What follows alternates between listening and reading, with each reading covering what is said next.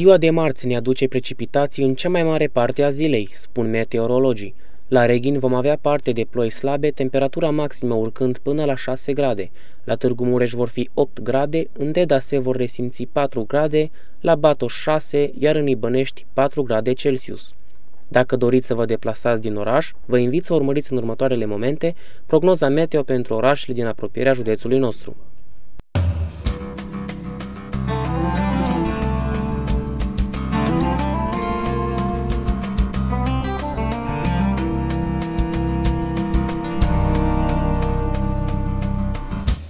Nici în capitală nu vor lipsi ploile, temperatura maximă urcând până la valoarea de 9 grade.